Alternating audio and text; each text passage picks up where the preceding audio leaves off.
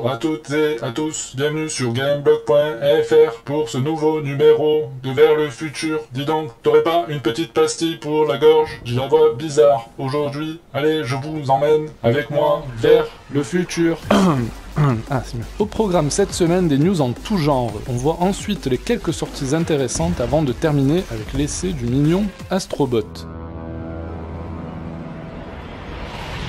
On commence la semaine avec du lourd, l'annonce d'une trilogie de films VR dans l'univers de Star Wars. Supervisée par Lucasfilm, cette trilogie sera centrée sur le personnage de Dark Vador. Elle se déroulera entre les épisodes 3 et 4 de la saga et donnera l'occasion de visiter notamment le château de Vador sur la planète Mustafar. Le premier épisode de cette trilogie sera disponible en exclusivité sur Oculus Quest lors de la sortie du casque au printemps 2019.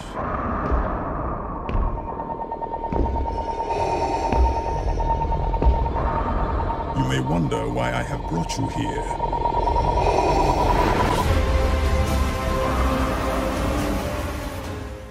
L'expérience narrative de Great Sea, adaptée d'une nouvelle de science-fiction de Philip K. Dick, sera disponible dès la semaine prochaine pour les casques HTC Vive et Oculus Rift. D'une durée de 37 minutes, ce court-métrage VR vous emportera dans un monde post-apocalyptique dans lequel l'humanité est dominée par un super ordinateur.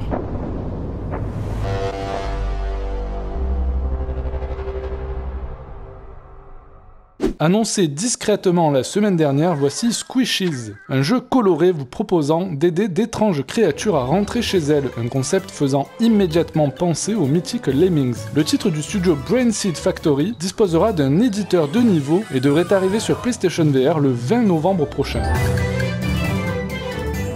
On en a appris un peu plus sur l'escape room oublié Last Labyrinth, annoncé il y a plus de deux ans lors du Tokyo Game Show 2016. Conçu spécifiquement pour la VR, le titre du studio Amata demandera aux joueurs de s'échapper d'un manoir obscur. Ligoté à une chaise roulante, votre seule chance d'en sortir sera de communiquer et d'interagir avec une jeune fille prénommée Katia. Last Labyrinth est programmé pour le printemps 2019 sur les casques PC ainsi que sur PlayStation VR.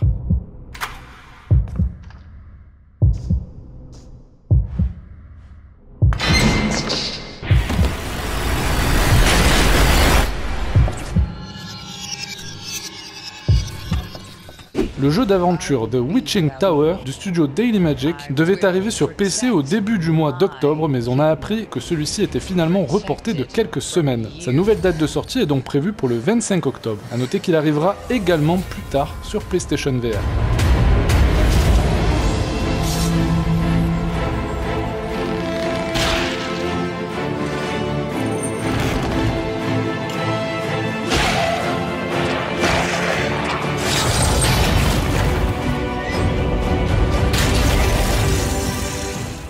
La saga Heavy Fire revient avec un nouvel opus nommé Red Shadow qui est prévu pour le 16 octobre sur PC, Xbox One et PS4 avec une compatibilité PSVR. Tiré sur tout ce qui bouge dans ce wave shooter à 360 degrés. Attention néanmoins, il semblerait que la version VR soit vendue séparément sous forme de DLC sauf si vous décidez d'acheter la version boîte du titre.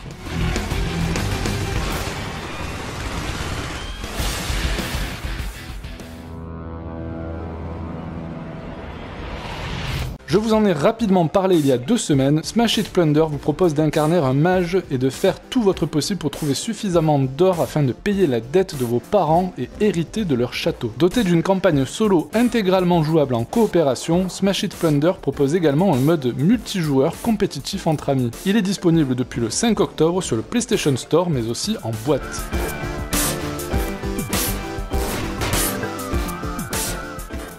La version définitive du roguelite In-Depth de Sulfar Studios est arrivée sur PC. In-Depth vous place dans la peau d'un archer de l'au-delà. Utilisez donc arcs et arbalètes pour vous frayer un chemin à travers le purgatoire généré procéduralement. In-Depth est disponible pour environ 25 euros sur PC et arrivera très bientôt sur PlayStation VR.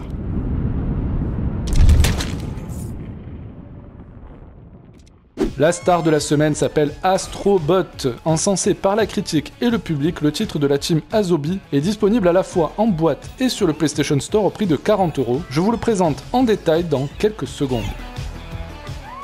Et Eh bien cette semaine, je ne pouvais pas faire autrement que de vous montrer Astrobot, c'est le jeu de la semaine et peut-être même le jeu VR de cette fin d'année. La critique et le public sont unanimes. Certains osent dire que c'est le Mario 64 de la réalité virtuelle. Je vais vous montrer tout ça en détail dans l'essai de la semaine. Je vous laisse donc avec moi-même sur cet essai. Je vous souhaite un très très bon week-end et on se retrouve la semaine prochaine. Ciao les amis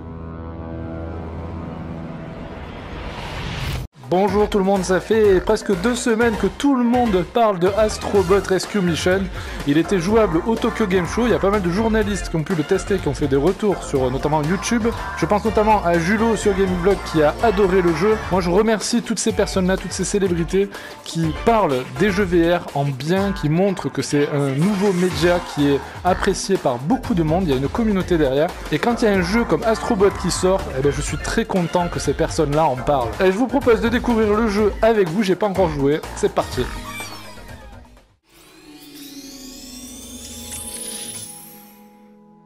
Waouh. Ça c'est de la manette customisée, il faudrait qu'il la sorte en vrai. Oh il est énorme.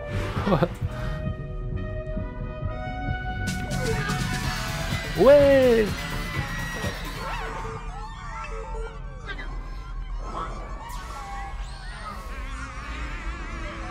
Ah ça c'est les méchants, ils sont en rouge.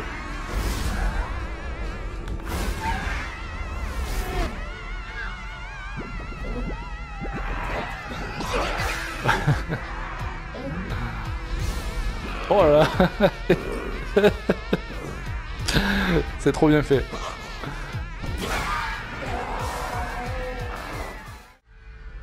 Ah, je crois que ça c'est moi. C'est mon petit héros là. Qui est tout seul. C'est génial. Vous savez, l'effet waouh en VR, il fonctionne toujours, même après deux ans de jeu. Donc c'est le même principe que dans Playroom et Playroom VR, c'est-à-dire qu'on a le petit bonhomme qui est dans la manette. Nous, on va incarner un genre de gros robot. Je vois un peu mon corps d'ailleurs en dessous. On va incarner un gros robot qui va accompagner ce petit personnage dans l'aventure Astrobot. Oh là là, c'est trop bien. C'est magnifique, c'est magnifique. Graphiquement, c'est énorme. Oh. Mais comme Playroom VR et comme le petit jeu de Playroom VR. Allez, je te balance. Alors si vous ne connaissez pas, alors ça m'étonnerait, franchement, tout le monde connaît ce petit bonhomme. Il est apparu la première fois dans euh, Playroom sur PS4, à la sortie de la PS4. Ensuite, ils ont fait un épisode euh, Playroom VR avec un jeu qui ressemblait à ça, qui s'appelait Robot Rescue, il me semble. Et c'est super beau. Et juste là, c'est magnifique. Graphiquement, c'est peut-être, je crois, le meilleur jeu PlayStation VR à ce jour. Alors après, c'est pas un jeu euh, avec des textures hyper euh, détaillées, c'est plutôt enfantin. Mais, mais franchement, c'est génial d'être à l'intérieur. Hop, il y a un petit toboggan. Excellent. Allez, on va avancer.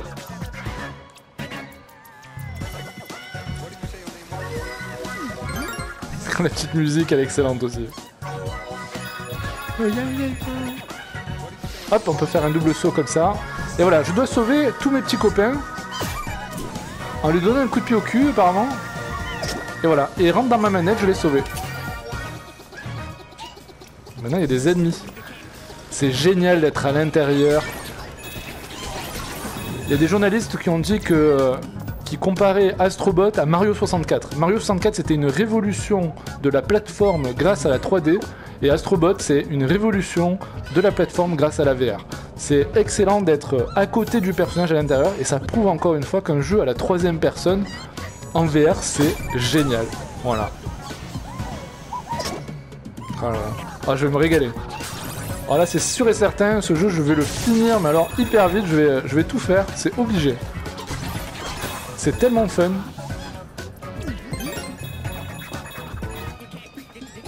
Je me régale à, regarder le personnage de près. Regardez, là je dois monter. Je suis obligé de me tourner du coup.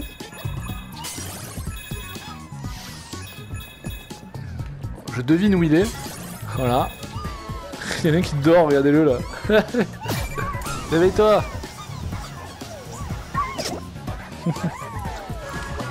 Ici, je vois qu'il y a un ennemi invisible, il y a un caméléon. Ah merde, il s'est échappé. Et j'ai un petit bonhomme à sauver, regardez la peur du vide. C'est génial. Et donc là, il faut que j'aille euh, directement le sauver par là. Hop là Allez, viens, je te récupère dans la manette. Voilà. J'imagine qu'il va y avoir plein de petits bonhommes cachés un peu partout dans le jeu. Il y en a un en bas là, regardez. On va plutôt y aller après. Il y a un gros... Oh Il tire à la gueule lui C'est génial Arrête de me tirer dessus, voilà Oh, il y a plein d'ennemis Ah non Ah, je me suis fait tuer Je découvre les attaques des ennemis. C'est super beau. Oula. Oh merde Qu'est-ce que c'est que ça? Il y a un gorille Voilà le premier niveau terminé, franchement c'est excellent, je crois que je vais me régaler. Vous avez obtenu Caméléon de l'espace. Trouvez-les pour débloquer des défis. Ok. Allez, on fait un petit deuxième niveau.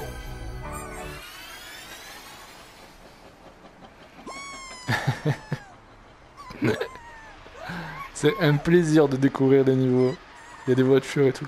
Il y en a un qui est accroché, regardez, il a trop peur. Peur de tomber. Je me reconnais en lui. Je fais souvent des cauchemars comme ça où je suis accroché. euh. Allez, saute On va aller sauver tes potes. On va passer par là.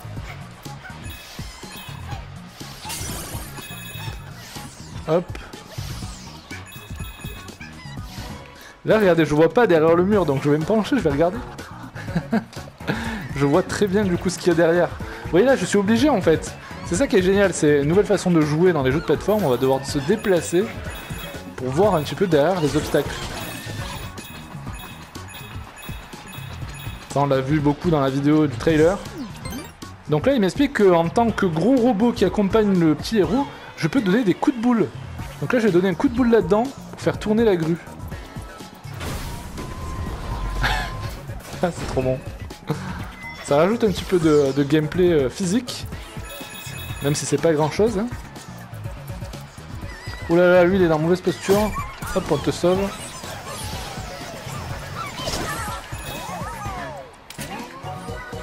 Vous savez, des gens qui ont jamais testé la réalité virtuelle, il faut à tout prix qu'ils essayent parce que je suis sûr ils me regardent jouer, ils comprennent pas. Ils comprennent pas. hein. Il faut essayer pour comprendre qu'on est à l'intérieur et qu'on voit les personnages comme s'ils étaient réels à côté de nous. Donc là j'ai une balle de baseball on dirait. Ou de tennis peut-être. Et je peux jeter. Ok, je peux détruire les trucs directement.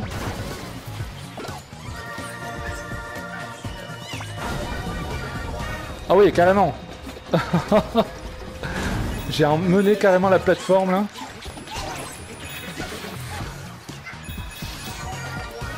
Ah mais zut, il y a des pièces au-dessus là, il y en a un qui, est pendu.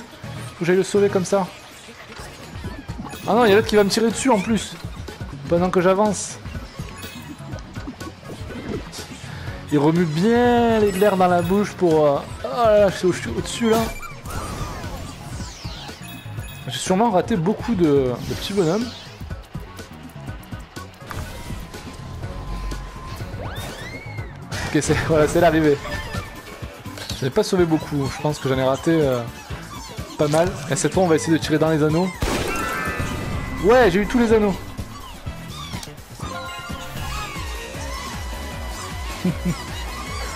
Il a fait la danse de, euh, Carlton dans, euh, dans Le Prince de Bel Air. la caverne d'Ali Bobo. la caverne d'Ali Bobot. Allez, on va essayer. Ah, en intérieur, ça va être cool. Ah oui. Oh là là, c'est génial. Il y a un truc derrière, là. Il y a un truc caché derrière.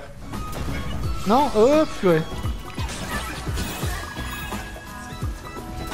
On surplombe le décor, c'est vraiment génial. Regardez. Je vois les, euh, les boulets de canon qui arrivent là, qui me passent devant. Oh, j'en ai vu un. Un caméléon. En fait, il suffit de les regarder. Ok, pour trouver des nouveaux défis. Donc j'ai trouvé un caméléon qui était caché. C'est magnifique. Franchement, les amis, c'est magnifique. Je crois, si vous n'avez pas déjà commandé le jeu, euh, avant de voir cette vidéo, et si vous ne l'avez pas encore commandé pendant que vous regardez cette vidéo, c'est quand même un problème quand même. Franchement, c'est un jeu qui est génial en tout point, et je pense que ça va être euh, magnifique de bout en bout. Donc c'est ça les défis, et vous voyez, il y en a vraiment beaucoup là tout autour, tous les astéroïdes où il y a des caméléons dessus, donc il y en a beaucoup à trouver, et franchement ça rajoute encore plus de durée de vie au jeu. Et en termes de niveau, on est quand même assez bien servi, parce que là je pense qu'il y a 1, 2, 3, 4, 5 niveaux, 1, 2, 3, 4, 5.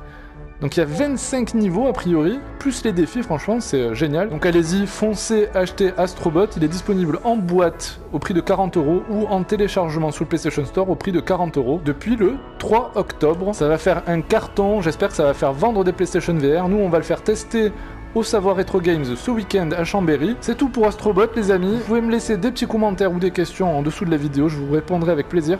Je vous souhaite une très bonne fin de journée, on se retrouve très bientôt pour d'autres vidéos VR. Allez, ciao les amis